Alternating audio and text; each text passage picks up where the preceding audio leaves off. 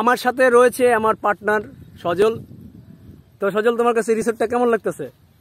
বরাবরের মতন রিসোর্টটা খুব সুন্দর এবং খুব খোলামেলা জায়গা। এই যে আমি একটু দেখাই এই দেখেন। ভালো লাগো। এই যে দেখেন পিছের কটেজটা কিন্তু লাল ওই যে সুন্দর। হ্যাঁ এবার তুমি বলো। ওই যে লাল কটেজ এখানে বরাবর মোটামুটি ভালোই লাগতেছে। খুব সুন্দর একটা পরিবেশ এবং খোলামেলা আকাশ দেখা যায় এবং প্লাস এটা দর্শকরা দেখেছে আমি একটু আগে দেখাইছি হ্যাঁ। দর্শকরা দেখছে।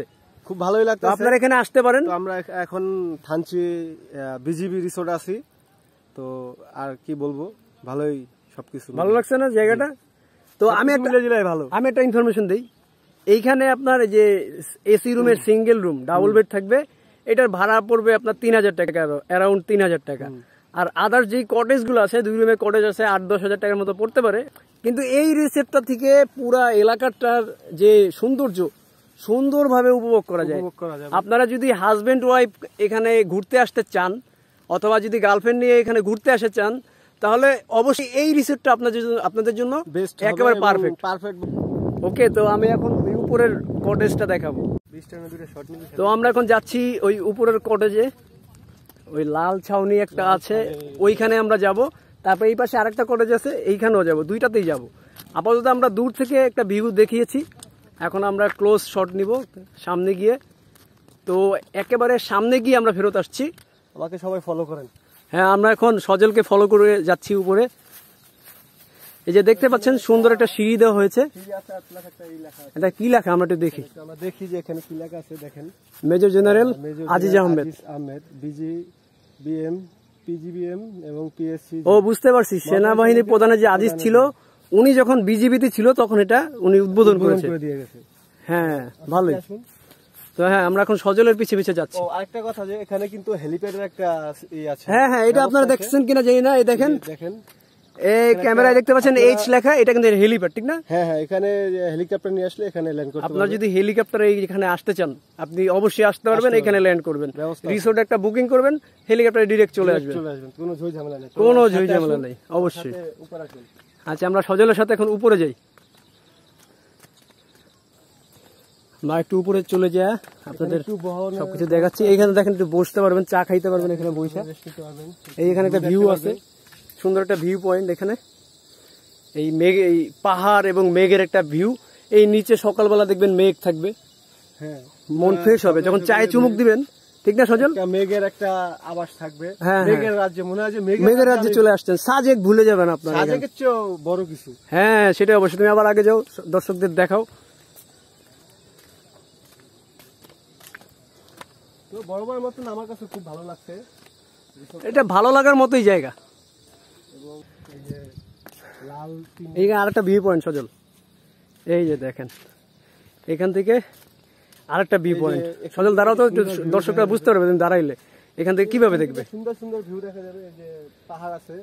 হ্যাঁ হ্যাঁ দেখেন এই যে ডিম পাহাড় ওই যে চূড়াটা ওই চূড়ায় আমরা ছিলাম। ওই চূড়া থেকে আমরা গাড়ি দিয়ে নিয়ে আসছি চাঁদের গাড়ি থেকে আমরা ওখান থেকে থেকে আস্তে আস্তে করে নিচে আসছি। হ্যাঁ হ্যাঁ। সকালবেলা যদি এখানে আইসা একটা চা এক কাপ চা নিয়ে যদি রং চা। রং চা হোক বা দুধ চা হোক। যেটাই হোক এখানে দাঁড়া খাবে যখন একটা সুন্দর একটা একটা- ফিল পাবে। ফিল সেই লেভেলের ফিল আর মেঘে মনে হয় যে গার ভিতরে মেঘ আইসা। আচ্ছা আমি আমরা এখান থেকে একটা ভিউ দেখাবো দর্শকদের। তার আগে আমরা কটেজটা একটু দেখাই।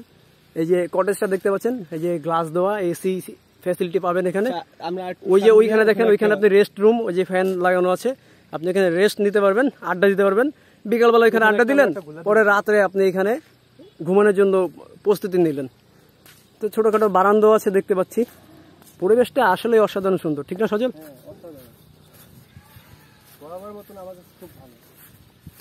আচ্ছা দাঁড়াও। সজল আমরা ওই যে ওইখানে? দেখতে আসলাম চারপাশটা কীরকম।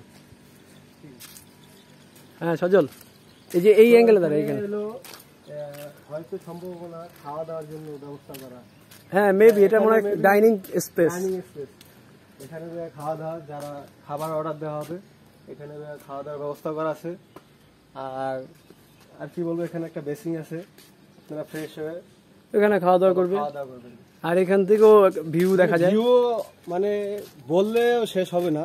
আপনার ক্যামেরায় যেরকম দেখতে পাচ্ছেন এখানে আসলে আরও ভালো মতো বুঝতে পারবেন যে রিসোর্টটা কত সুন্দর করে গুছিয়েছে। আমার কাছে সবচেয়ে ভালো লাগছে এই যে কুড়ে ঘর দুটো এই দুটো আমার কাছে খুব ভালো লাগছে। মানে হ্যাঁ হ্যাঁ এই কটেজ দুটো সুন্দর অসাধারণ।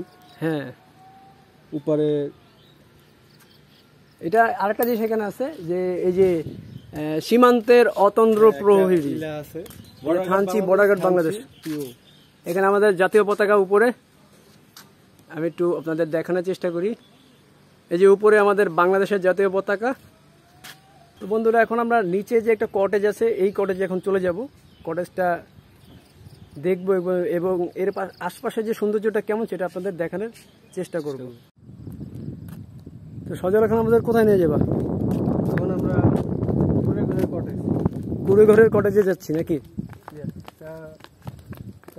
একটা ঝুলন্ত সেতু আছে। ঝুলন্তর মতো নেই। ওই টাইপের আমরা দেখি ঠিক না? হ্যাঁ। এটা জাস্ট হেঁটে গেলেই দর্শকরা বুঝতে পারবে এটা কীরকম। অলরেডি বুঝে গেছে যে এটা কীরকম ব্রিজ সুন্দর একটা কালার কম্বিনেশন বাংলাদেশের ফ্ল্যাগের মতো। এবং আমাদের লাল সবুজ পতাকার একটা ঘোষণা দেওয়া হ্যাঁ এটা ভালোই লেগেছে জিনিসটা।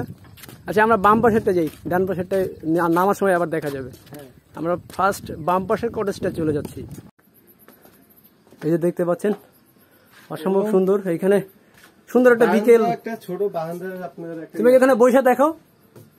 এই যে এভাবে সজলের মতো আপনারা বসবেন। আরাম করবেন এবং ঝুলবেন। প্রকৃতি দেখবেন। মাইন্ড ফ্রেশ হবে। সন্ধ্যার সময় ভিউটা দেখবে। আকাশ ভরা তারা দেখতে পারবেন। ভোরবেলা এবং সকালবেলা মেঘ এরকম বৈশা বৈশা দেখবে হ্যাঁ। এই পাশে আবার একটা জিনিস আছে দেখছ সজল? আসো আসো দেখো দেখো। জিনিসটা হলো যে একটা চারটা চেয়ার আছে আর একটা গোল টেবিল আছে। মানে চারজন মেম্বার এখানে বসে চা খাবে খাবে গল্প করবে। গল্প করবে এবং ভিউটা দেখবে। অসাধারণ। আর ভিতরে দেখাতে পাচ্ছি না কারণ লক করা। লক করা আর কেউ নাই থাকলে হয়তো দেখাতে পারতাম। যখন আমরা সজল নিচেটা দেখি। নিচেরটা দেখব। নিচেরটা সেম হবে না নিচেরটা যেরকম এটা একটু বারান্দা আছে নিচেরটা সম্ভাবনা মেবি বারান্দা নাই কোনো। হ্যাঁ এটা দেখা যাচ্ছে বারান্দা নেই। ওইটা ভালো লাগছে যে একটা বারান্দা আছে হ্যাঁ ওটা একটু প্রিমিয়াম আবার দেখতেও ভালো। ভালো লাগল।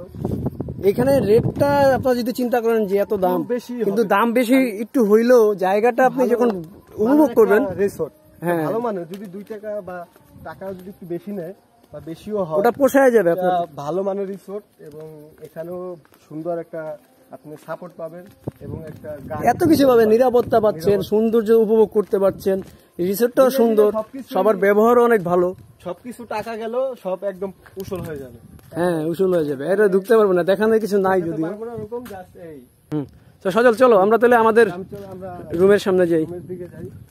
এই যে দেখেন এই যে আমি আমরা একটা ঝুলন্ত ব্রিজে যে এখন আছি এই ব্রিজ থেকে বাম সাইডে দেখেন সুন্দর পাহাড়টা দেখা যাচ্ছে ডিম পাহাড়। এই যে দেখেন এই সজল যে দাঁড়াইছে দেখেন। সকালবেলা মানে ভোর ভোর যদি আইসা আপনি দাঁত ব্রাশ করতেছেন আর এখানে দেখতেছেন। মানে আপনি ইমাজিন করেন আপনার মতো ইমাজিন করেন। সন্ধ্যার সময় একটু আসলেন ভালো লাগতেছে না এখানে দাঁড়িয়ে একটা ভিউ দেখতে পেলেন পাহাড়। অবশ্যই অবশ্যই। খুব খুব সুন্দর জায়গা। মানে আপনাদের আপনারা এত বোকা না আপনারা দেখে নিজেরাই বুঝতে পারছেন জায়গাটা অনেক সুন্দর। এটা যে আমি আপনাদের উৎসাহিত করতেছি পাম মারতেছি এমন তো না বিষয়টা।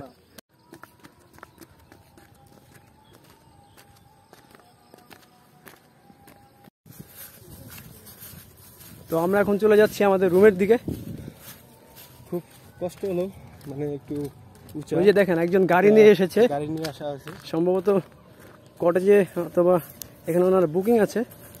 তো আপনি এইভাবে ঢাকা থেকে নিজের গাড়িতে আসতে পারেন পার্সোনাল গাড়িতে অথবা আপনি হেলিকপ্টার আসতে পারেন যদি আপনার বেশি টাকা থাকে। ঠিক না সজল? টাকা হলে অথবা আমাদের মতো আপনারা ভেঙে ভেঙে বাস তারপরে আপনার এই যে চাঁদের গাড়ি। আমরা এনজয় করতে আসছি এটাই চিল করতে আসছি আমরা। চিল চিল ছাড়া জীবন আর কি লাগে? হলো চিল সেটাই।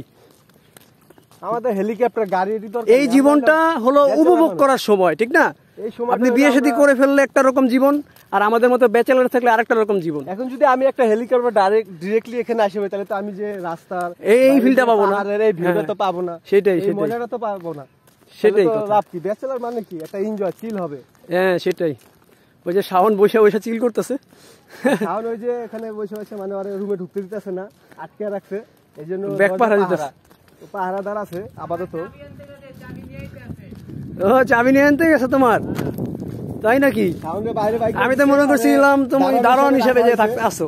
আজিজুল আর ও এই রুমের দারোয়ান তুমি। আর হ্যাঁ। যে কাপড় বাইক করব আমরা পরবো। এই ভালো ভালো দারোয়ানের প্র্যাকটিস করো। এই জন্য চাবিটা নিয়ে আসতে একটু লেট হইতে আর আমরা বুঝছি আমরা বুঝছি। তুমি দারোয়ান হিসেবে কাজ করতেছো এই জায়গায়। কি সজল?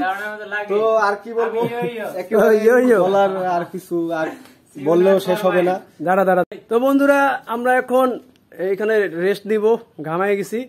আমাদের ভিডিও এতক্ষণ উপরে ছিলাম রৌদ্র টাটকা রৌদ্র অনেক রোদ গামায় বলার বান্ধা কি বাহিরে। আমি এতক্ষণ এসির ভিতরে তুমি তো এখানে দারোয়ান ছিল দারোয়ান। দারোয়ান আমরা হিসেবে দেখছি। আমরা রাখছি। আমি এসির ভিতরে ছিলাম। আরে, আপনাদের মতো দারোয়ান রাখা হয়েছে। এই যে দারোয়ান ছিল তুমি। যাই হোক আমরা এরকম দারোয়ানগিরি করি নাই আমরা উপরে একটু আপনাদের আপনার সৌন্দর্য দেখাইছি। আমার চেহারা কোনো ঘাম নাই। এটা চেহারায় ঘাম আছে। পরিশ্রম পরিশ্রমের একটা ছাপ। ঠিক না আর সজল? বলার কিছু নাই বললেও শেষ হবে না। আজকে আর কি করব? হ্যাঁ আজকে আমরা এখানে ভিডিওটা শেষ করতেছি। করব। এই পর্বটা এই পর্ব শেষ। নেক্সট পর্ব দেখবেন আপনারা সবাই আশা করি অবশ্যই আমাদের এই যে পরবর্তী ভিডিও যেগুলো আছে এগুলো দেখতে থাকেন। হ্যাঁ। আর এর আগে যে ভিডিওটা যারা দেখছেন তাদেরকে ধন্যবাদ। ধন্যবাদ। দেখার জন্য। আর এই যে ভিডিওটা ভালো লাগলে লাইক করবেন সাবস্ক্রাইব করবেন চ্যানেলটা। আর কোনো কিছু জানতে চাইলে কি করবে? কমেন্ট করবে। হ্যাঁ সেটাই। সজল কমেন্টে রিপ্লাই দিবে ঠিক আছে? ওকে তো সময় পাই না রিপ্লাই দিব। আচ্ছা আচ্ছা আমি আছি আমি আছি আমি আছি আমি আছি সমস্যা নাই। ওকে আল্লাহ হাফেজ সবাই ভালো থাকবেন।